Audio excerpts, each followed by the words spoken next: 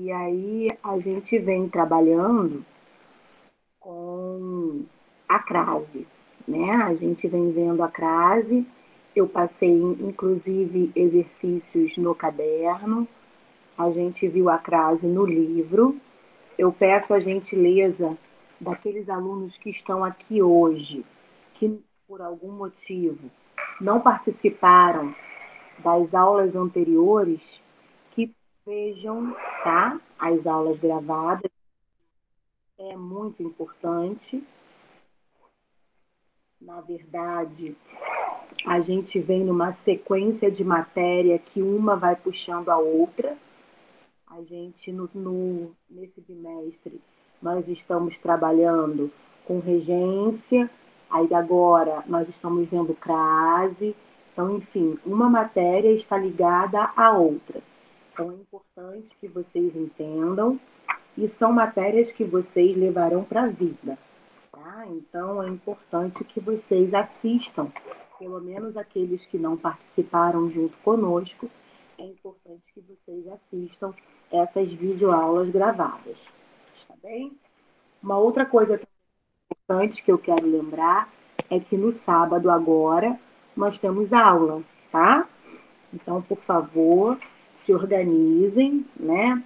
Organizem o horário de vocês, o tempo de vocês, o dia de vocês, porque pela manhã nós temos o nosso encontro. Tá legal? Algumas pessoas ainda estão chegando, né? Então, por isso que eu estou dando. Matheus Souza está entrando agora. Por isso que eu estou dando tempo para as pessoas adentrarem, né? Porque senão.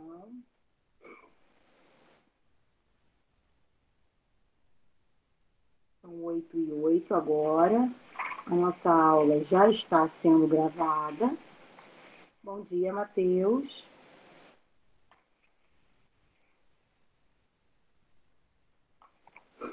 Eu queria só relembrar algumas coisas com vocês importantes né, que a gente viu que a gente viu na semana passada. Então eu gostaria de lembrá-los que nós estamos trabalhando com a crase. A crase é um acento gráfico que nós utilizamos em cima da vogal A. E a crase nada mais é a junção, a fusão de uma preposição mais artigo. A regra geral da crase é que ela só ocorre antes de palavras femininas. Então, essa é a regra geral. No entanto, toda regra geral tem as suas exceções, que foram aqueles casos que nós vimos né, nas aulas anteriores. Nós vimos os casos em que, a, em, em que a crase é obrigatória, opcional e proibida. Exemplo: quais são os casos que a crase é proibida? A crase não pode ser usada antes de palavras masculinas. A cavalo, né? enfim. Não, não pode ser usada antes de palavras masculinas. Não pode ser usada antes de verbo. Tá? Meu filho começou a falar. Esse A não pode ter crase. João aprendeu a andar a cavalo. Esse a cavalo não tem crase porque é uma palavra masculina. É, o bandido e o, e o policial ficaram frente a frente, cara a cara, palavras repetidas, esse azinho não tem crase. Então nós vimos todos essas, esses exemplos e vimos todos, todas essas regras. Vimos também que a crase se torna opcional quando a gente quer utilizar antes de nomes próprios. A gente pode utilizar ou não. A gente também pode utilizar ou não depois da preposição até, que aí fica facultativo, como a gente fala. Facultativo e opcional, na situação da frase, tem o mesmo sentido.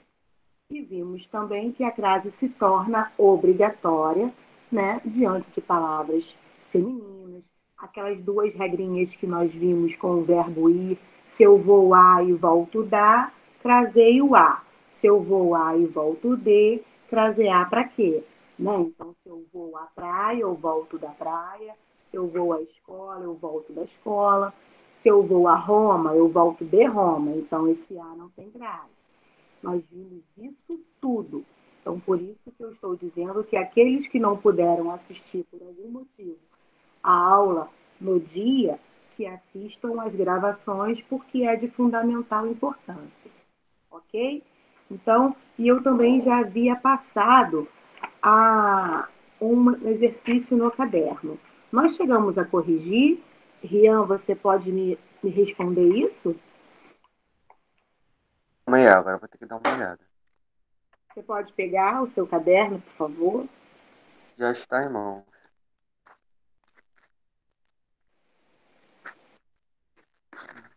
Caraca, quanta coisa!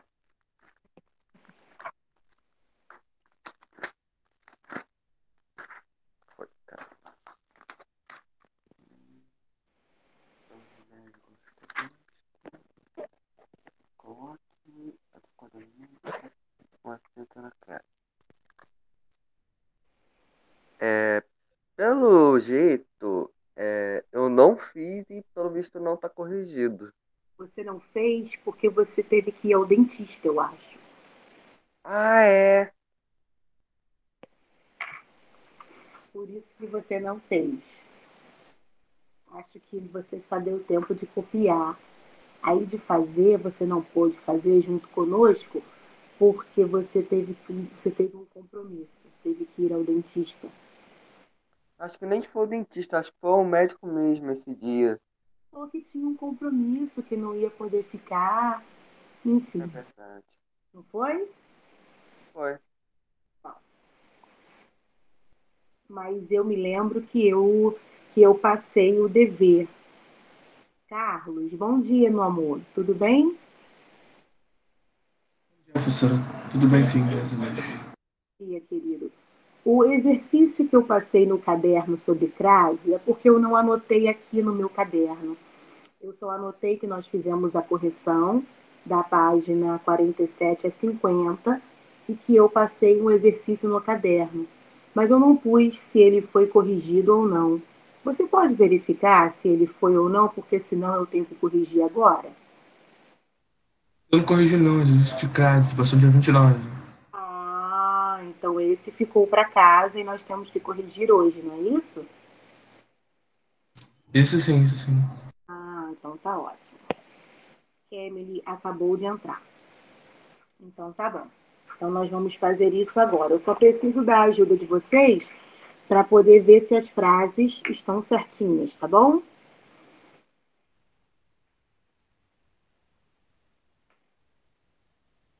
Quer que lê as frases? Ou você vai ler e a gente confirma? Tá, peraí. Eu vou precisar fechar aqui só um instante. Mas pode ir falando que eu vou falando com você, tá? Vocês estão me ouvindo? Sim, sim. Então vamos lá. Fui à cidade a fim de comprar um vestido. Fui à cidade a fim de comprar um vestido. E aí, pessoal? O afim não vai ter crase, tá? Nós estamos trabalhando com o A do fui à cidade. Quando você vai à cidade, você volta.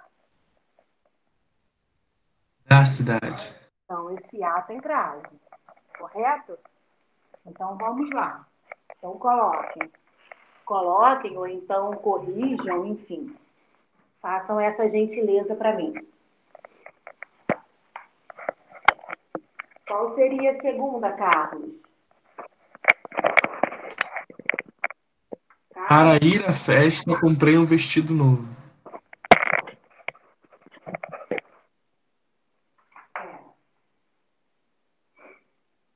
Para ir à festa, comprei um vestido novo. Para ir à festa. Mais uma vez o verbo ir, pessoal. Quando eu vou à festa, eu volto Da festa. à festa. Então, esse A também tem crase.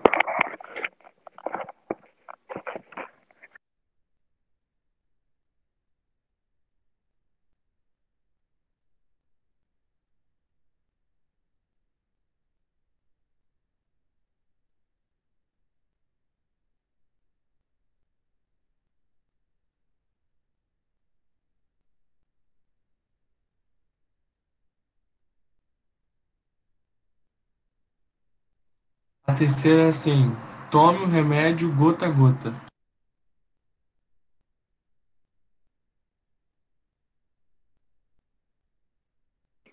Gota a gota, palavras repetidas, não tem crase. Não tem crase.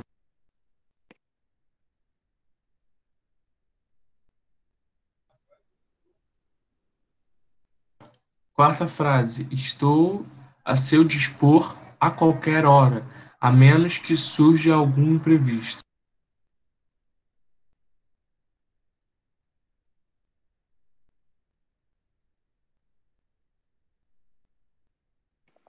Nesta frase não terá crase em lugar algum. Estou a seu dispor. Seu é um pronome no masculino, não ocorre crase. E a qualquer, qualquer é um pronome também que não admite crase.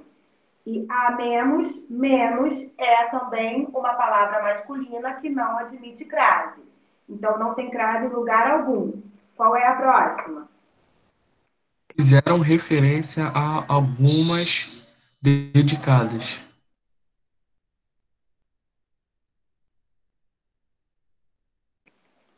Fizeram referência a alunas dedicadas. Se eu tiver dúvida, eu boto a alunas no masculino. Então, fizeram referência a alunos dedicados, ou seja, o A permaneceu sozinho, não ocorre a crase.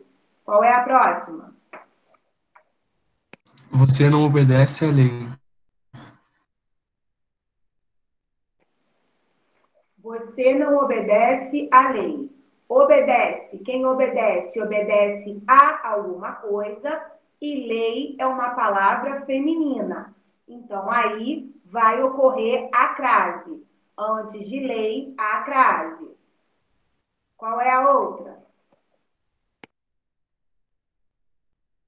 Sua posição é semelhante a quem. Não, sua posição é semelhante a que defendi ontem. Sua posição é semelhante à que defendi ontem. Esse a é o caso do pronome relativo. No caso da opcional, da crase opcional, você pode pôr a crase ou não, tá? Aqui no livro está com crase, mas aí fica a seu critério. Qual é a outra? Entregue o bilhete àquele homem.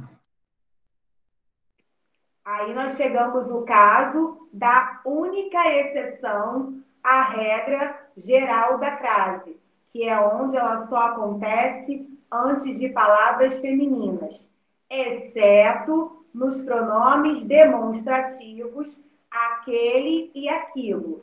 Então, nesta frase, entregue o bilhete àquele homem, esse a do aquele vai admitir a crase. Por quê?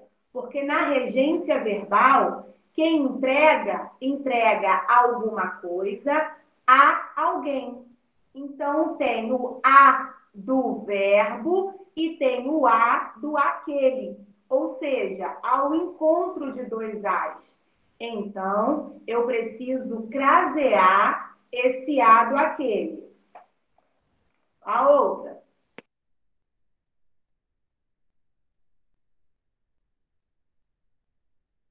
Iremos à praia. À praia. Mais uma vez, o verbo ir. Iremos à praia. Quem vai à praia, volta da praia. Então, esse da praia.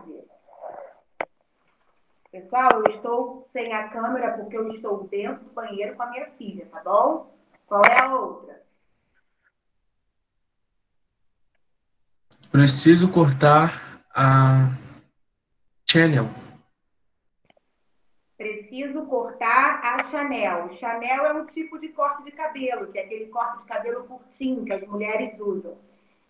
Ah, sim, sim, sim. Eu li, pensei que era um canal em inglês. Mas... Então fica subentendido a moda, a maneira. Eu pus lá no nosso caderno bacalhau a goma sá, salto a luz 15. Eu pus desta maneira para vocês. Então, toda vez que ficar implícito, ficar subentendido as expressões a moda, a maneira, eu craseio o A. Então, preciso colocar a Chanel. Esse A do Chanel tem crase. Qual é a outra? Andamos a cavalo durante toda a manhã. Andamos a cavalo durante toda a manhã. Dei esse exemplo assim que começou a nossa aula, né? Esse A antes de a cavalo não tem crase, porque cavalo está no masculino. Então, não ocorre crase antes de palavras masculinas, com exceção dos pronomes demonstrativos aquele e aquilo. Tem mais uma? Sim, não pude dar à minha mãe os parabéns. Não pude dar à minha mãe os parabéns. Esse A vai admitir crase. Quando a gente dá, a gente dá alguma coisa a alguém. E mãe é uma palavra no masculino. Em caso de dúvida, você pode usar aquela regrinha de mudar o termo do feminino para o masculino. Não pude dar ao meu pai. Opa, esse A aí admitiu a combinação ao. Então, no feminino, vai ter crase. Tem o número 2, não tem? Tem sim. E nós teríamos que explicar a diferença das frases, não é isso? Isso, Tá, isso. deixa eu só acabar com ela aqui, que eu já vou sair daqui e aí eu abro a câmera. Peraí.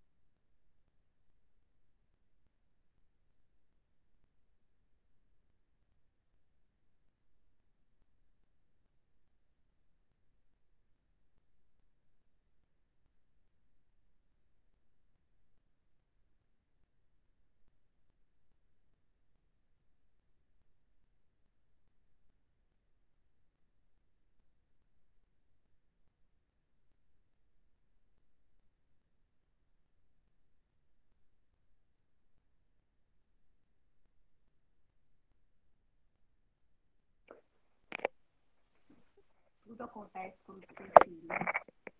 Então, peraí. Então, vamos. Vamos lá.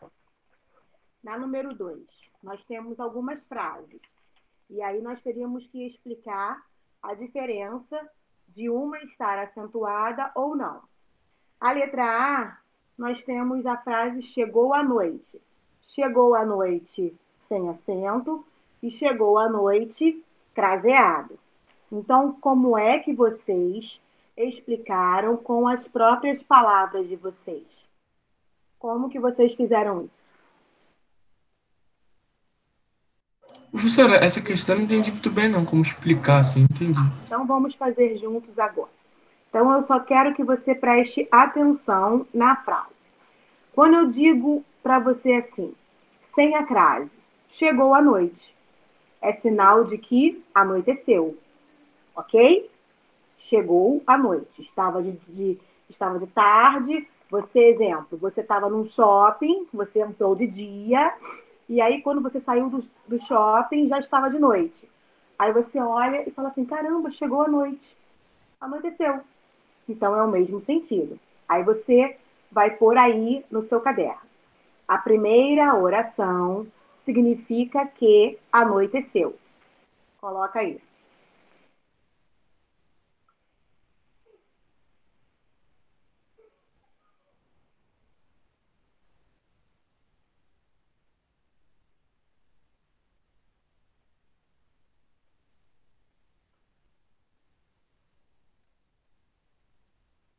Ok?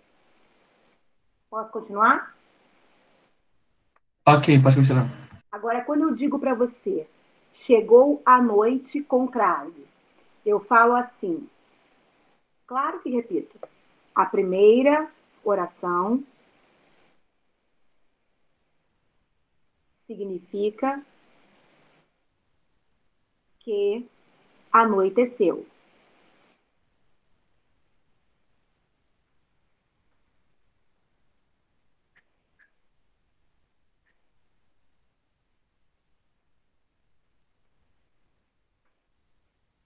A primeira oração significa que anoiteceu. Posso ir? Obrigada. ele colocou o dedo estava.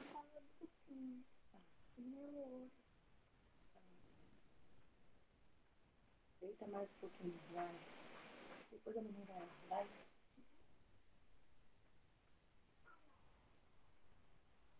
E na segunda, quando eu digo chegou a noite, você fala assim para mim, Carlos, Ca é, Tati, João chegou que horas? Aí eu falo assim, ah, Carlos, João chegou à noite. Então, João chegou no horário noturno. João chegou de dia, João chegou à tarde, João chegou à noite. Então, João chegou no período noturno. Entendeu? Sim, sim, sim. Então, depois de a primeira oração é, tem o sentido de anoiteceu, você põe ponto na mesma linha. A segunda significa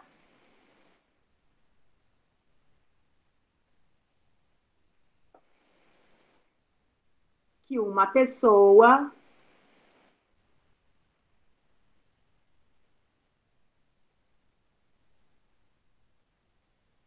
chegou no período noturno.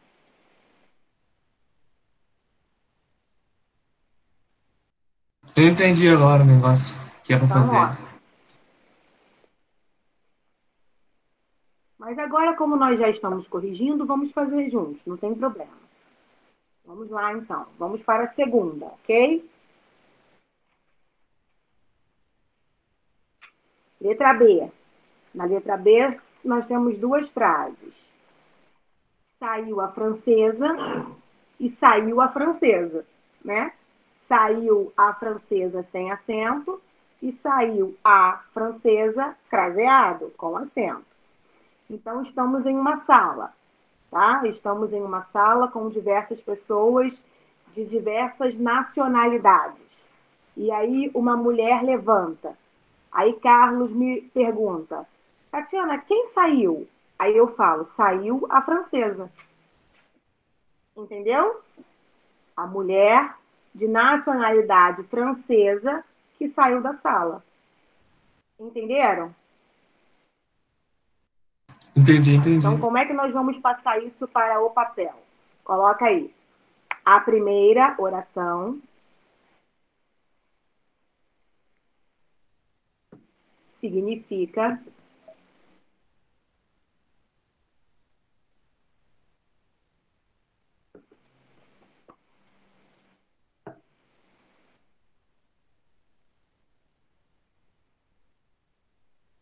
uma pessoa de origem francesa. A primeira oração significa que uma pessoa de origem francesa saiu.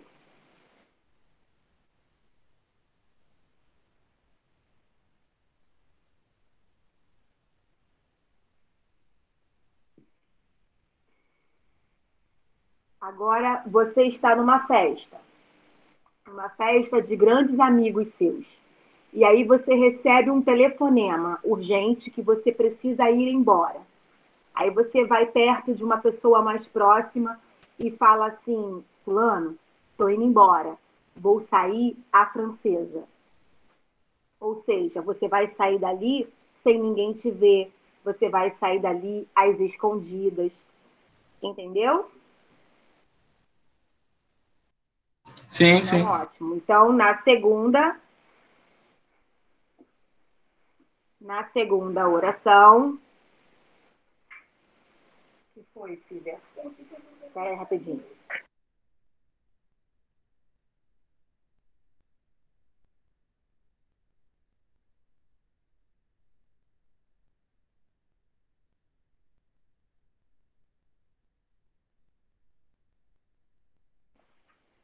Na segunda oração, significa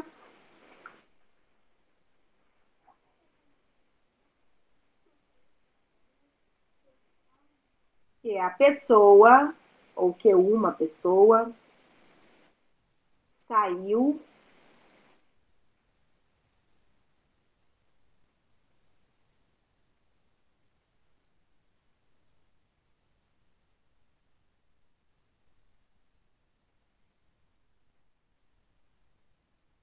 maneira dos franceses. Saiu à maneira dos franceses. Aí vocês coloquem entre parênteses, sem ser notado, ou então sem ninguém perceber.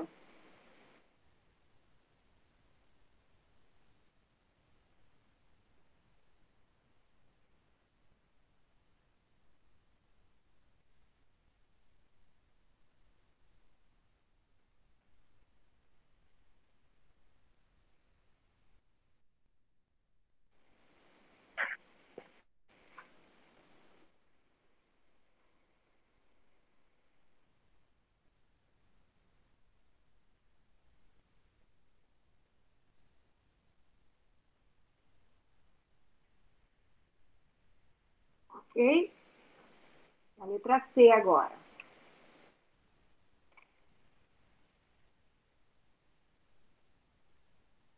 Qual o nome que eu, que eu pus na letra C?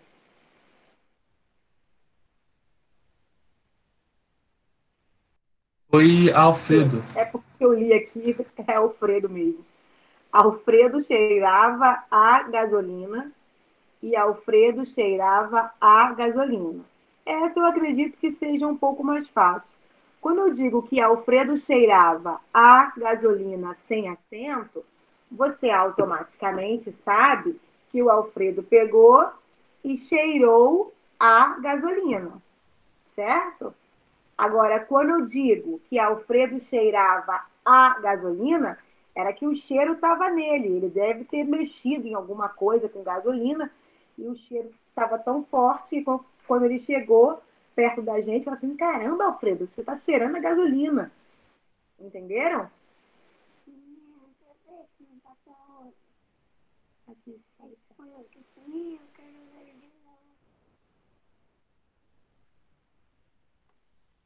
Entenderam?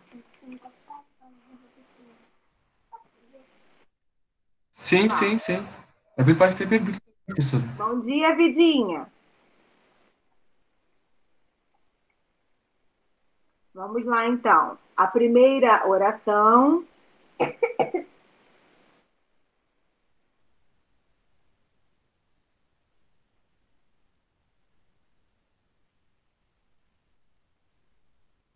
Significa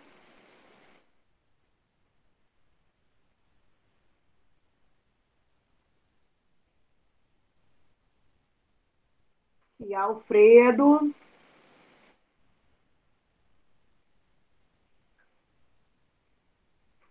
cheirava a gasolina.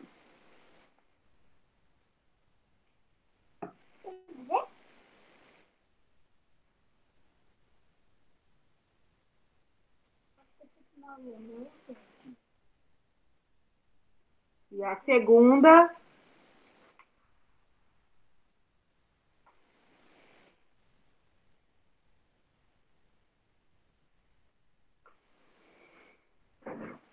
e Alfredo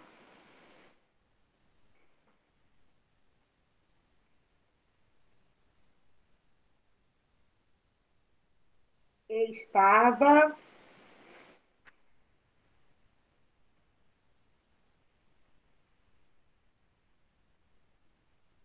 aspirando o cheiro da gasolina.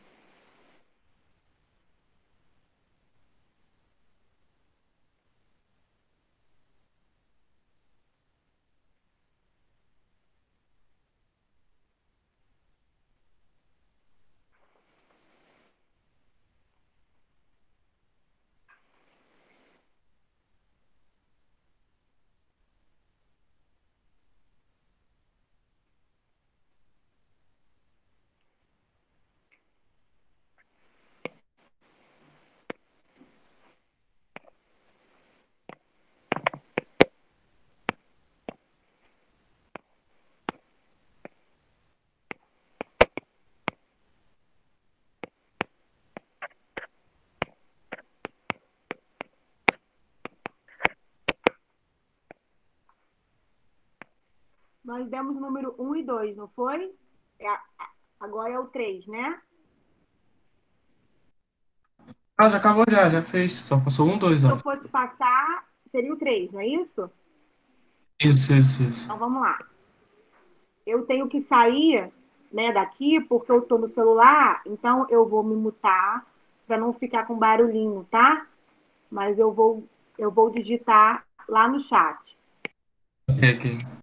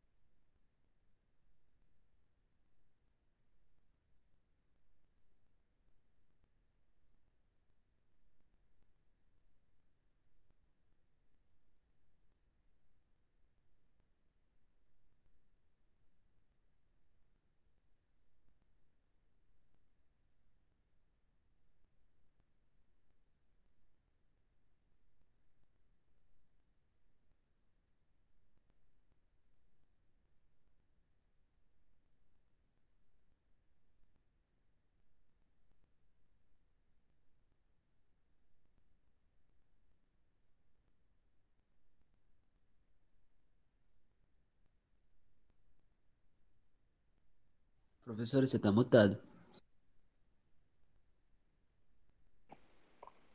Eu sei que eu tô mutada. Eu tô digitando, Eu tava me- fazendo barulho. Não, eu sei, você tava mexendo a boca, parecia que você tava falando com a gente. É minha filha que tá aqui. Por isso que eu estou mutada também. Entendeu? Pode ver.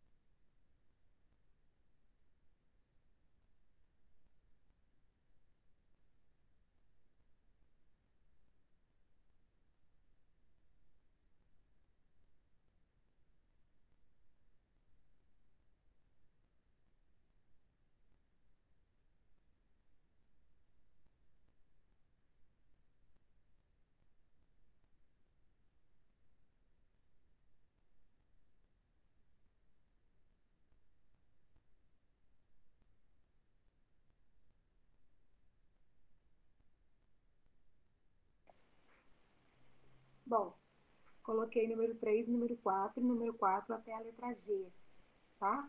Aí vocês, por favor, copiem, que a minha ideia é corrigir ainda hoje. Vou anotar o nome de quem está participando da aula, ok?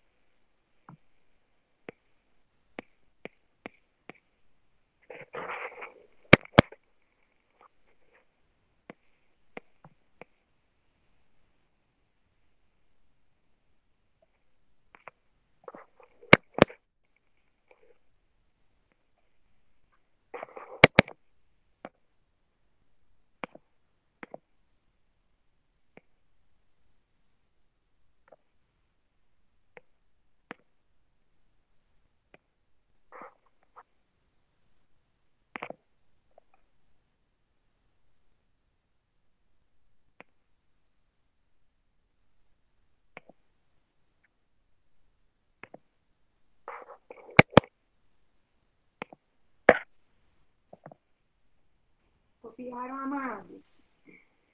Eu copiei e terminei de fazer. Todos? Não sei se todo mundo, mas eu já. Ótimo. Então, antes da gente, Pode, pode. ótimo. Então, antes da gente sair, vamos corrigir, porque são só dois números e aí a gente não fica com nenhuma pendência, né? No primeiro número, vocês lembram da diferença que a gente utiliza o A com H e o A sem H? É matéria de sétimo, de oitavo ano. Vocês lembram disso? Ou não? Cara, eu não lembro. Pois é. O A com H a gente vai utilizar quando indicar o tempo passado. E ele tem o mesmo sentido do verbo faz. Então, e o A sem o H, ele vai nos indicar o tempo futuro. Ele nos dá a característica de uma preposição também, além de artigo. Então, aqui nesta frase, esta frase ela foi retirada de uma prova da FUVEST, de São Paulo. Então, quando eu digo aqui à noite, as expressões iniciais à noite e à tarde, quando se inicia uma frase, elas sempre terão crase, ok? Vocês acham que essa está correta, sim ou não? Ah, então tá bom. Isso aí, Rafael. À noite e à tarde sempre terá crase, tá bom?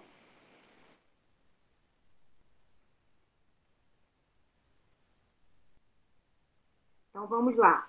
À noite, todos os operários voltaram. Quando a gente vai à fábrica, a gente Tá volta da fábrica. Isso aí. A gente volta da fábrica.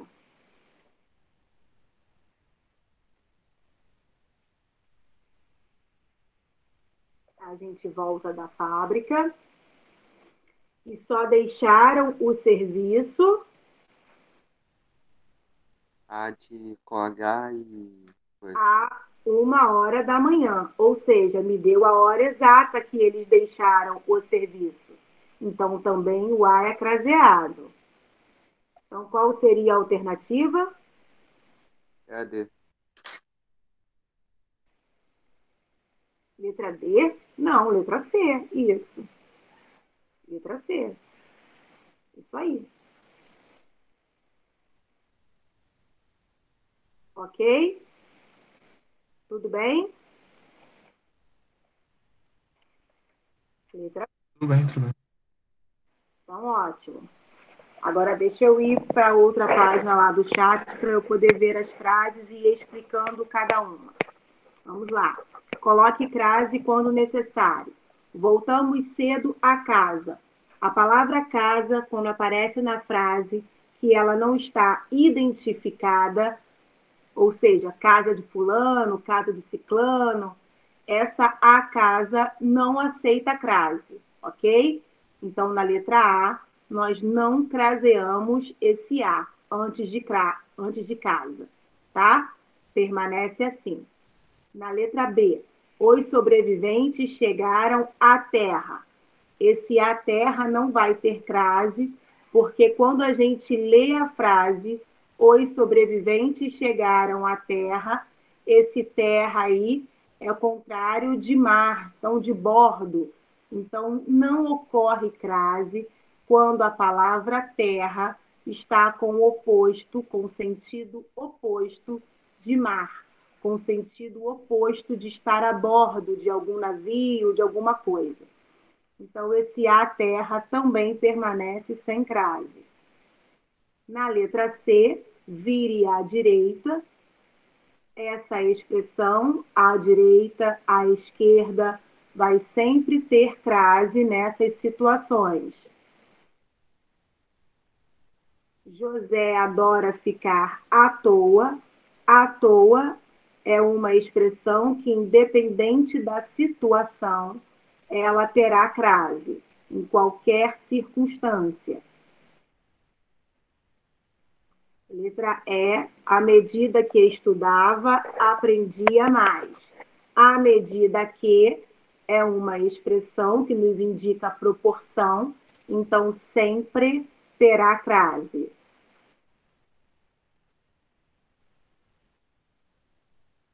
Letra F, Gabi começou a estudar. Esse A não admite crase porque estudar é um verbo. Então a gente não usa crase antes de verbo.